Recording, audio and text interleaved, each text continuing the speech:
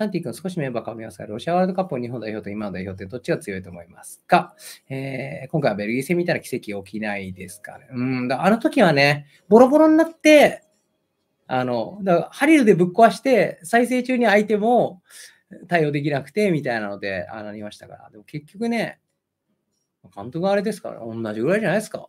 うん。あの時よりね、選手の質は僕育ってるとは思ってるんですけどね。それこそ中盤のね、選手たちの。